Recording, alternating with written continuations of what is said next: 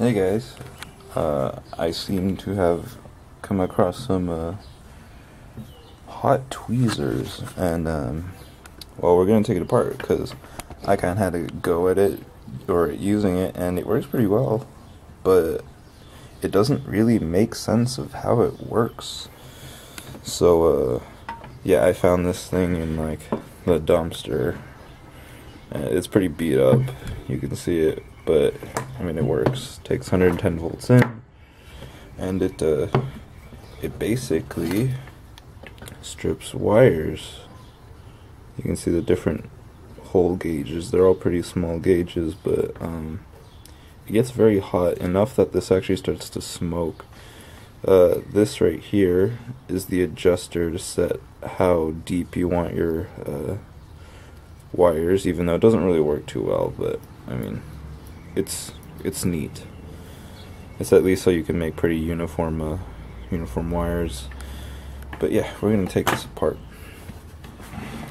So this right here is like a little switch, um, you know, on off switch, rheostat, or a potentiometer or something, and like two. Uh, this is a two and a half millimeter jack.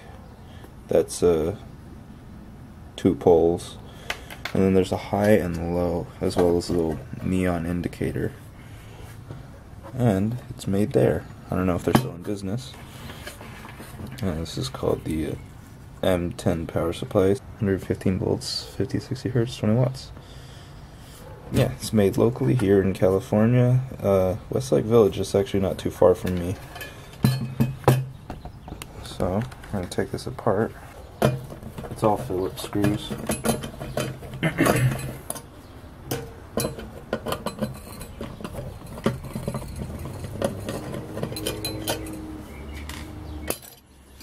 so,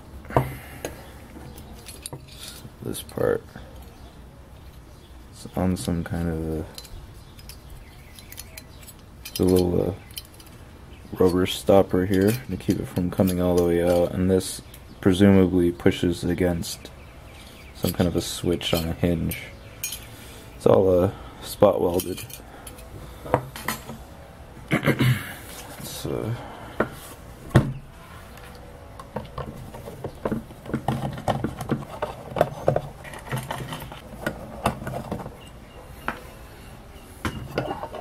I just try to slide forward and there we have it. What year was this?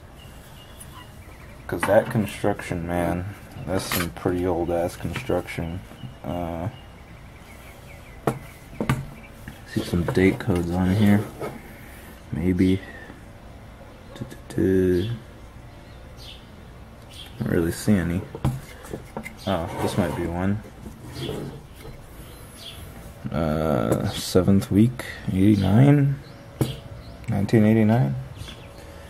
Maybe. It looks like it. Uh, nothing on here.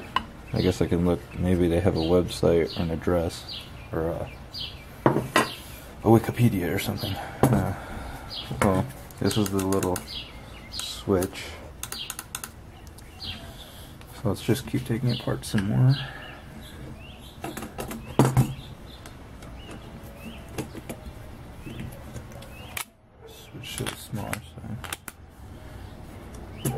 Let's actually look at uh, how this is assembled before we go any further. So mains comes in here, and there's a black wire, white wire, and a green wire right there. The green wire appears, it's a green yellow, so it goes all the way to this side. Goes to the center binding post, and uh, screwed onto the chassis and the transformer. Now, this black wire goes to this switch, which it has three pins on the switch, but only two are connected, assuming that when this is on, it connects those two. So then, from that white wire, it goes all the way here, which okay, which connects to this top post. And then to one side of the neon and one side of the transformer. Then the white wire from this side is a bit of a thicker wire so that's the neutral goes here to this other black wire which I'm assuming is the other transformer end and this neon which is the other side of the neon so from there we know that this side is our primary so our 110 volt side and this is our secondary so this is going to be our low voltage high current presumably. Um, now there's two taps. One tap goes this way into this rheostat which is a 2 ohm rheostat which is pretty crazy capable of uh, 3.54 amps. UL listed surprisingly that's pretty awesome it's a very like chunky rheostat. It's it's pretty good. Like like look at the traces on it. They're huge. I've never seen one with that big of a trace. And the uh, the copper uh, slidey thing. It's even got like a little spring there, just for the little imbalances or the imperfections in the copper strappings. Okay, so um, the common or one end of the transformer assuming it goes like this so like this is the two outer ends and this is a middle tap. So this end goes to the right side of the rheostat the center and the middle. So the center pin connects here to the normally closed part of the switch and then the normally open is attached to this end. And then the common of the switch so the output of the two or of this side of the transformer after going through the rheostat goes all the way to oh to the banana or not the banana jacks the little uh, two and a half millimeter phono jacks so they get what is that? Um, yeah, they're just common together on the same rails. Uh, appears to be the jacket of the two rails, and then the tip goes from the back end to these little tips, and then those return to the transformer. Now, the outermost winding is attached to high and then the inner one is attached to low. Um, the way that I thought this worked was that once you put these together, it shorts it out, and then once it shorts out, it uh, it completes the circuit and gets hot. But I noticed that when I turned it off, or when I wasn't doing this, it was still melting like the jacket of the uh, switch or of the wire. And also, and the crack in between it does not look like they're separated. So maybe they are constantly hot or that there's something going on inside of the uh, tweezer but I have no idea. So this is the basic circuit. Uh, you know high. Low. So that's really it. Um, it's just got the switch on the live side with the neon indicator, the transformer, the rheostat, or the potentiometer, whatever the hell you want to call it. But, uh, and then with the center pin attached to the normally closed and the outer pin of the rheostat connected to normally open on the switch. This is triggered by, uh, like when you put the tweezers back in the holder. Um, yeah, and then just straight high-low. So when you put the tweezers back on the thing, it doesn't necessarily turn it off. Um, it just puts it in a lower setting because it runs through the 2 ohm resistor essentially. Then when you put it, um, when you take it off, it's all normally connected and it would just run at whatever resistance that you have it set to. But then it doesn't really explain why it was still on, like, when I didn't have the tweezers closed. I'm gonna have to look at the tweezers and how those work. so I fixed up the case, and uh, yeah, that looks pretty well. I put all the screws back into place. I didn't do a full tear down. It's just just enough to see how it works. Um, so I have a Fluke multimeter out here. Uh, this is a clamp style one. Uh, I don't have my normal one with me because my dad's using it since it does PWM. Let's get that in the shot. The light that totally does not help.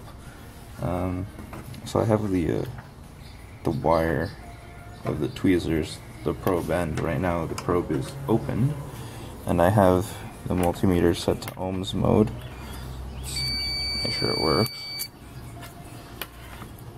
There's no zeroing function on this. Uh, okay, so half an ohm is what these wires, or the leads are.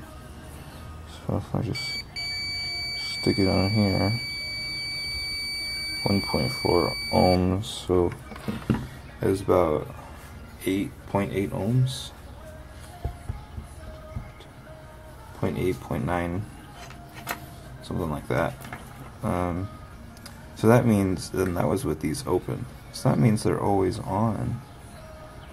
Now, how the hell does this get hot so quickly? So, like, there's like, it looks like a bit of nichrome wire right here.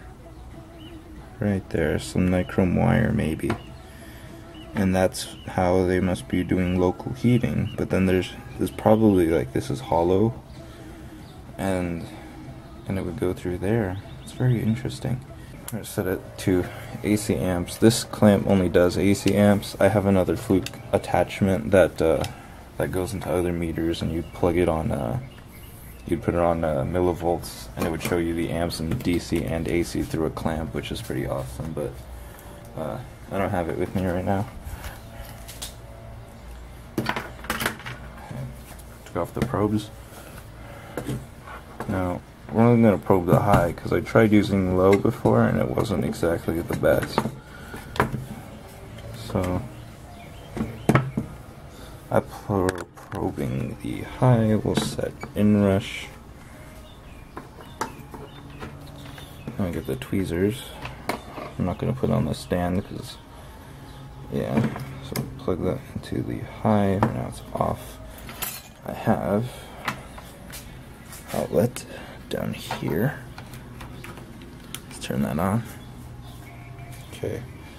Right now I have it set to, uh, let's set it to about 4. I used it at 4 a couple days ago.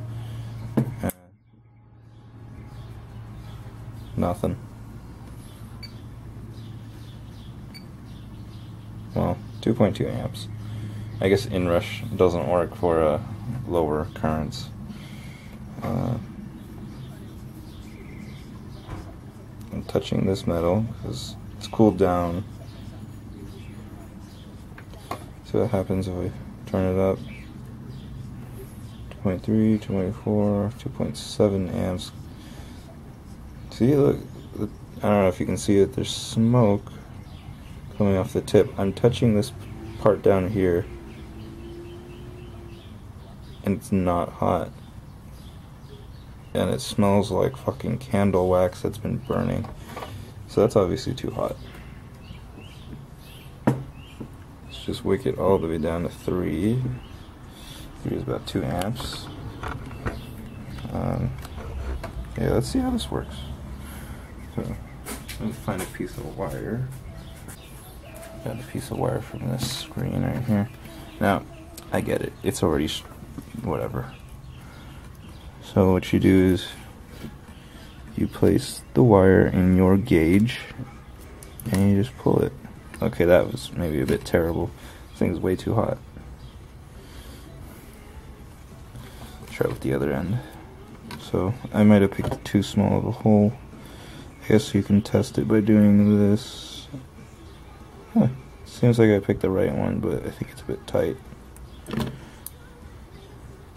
and then and then that kind of shit happens where it sticks to it. But I guess that's why I move my bench outside.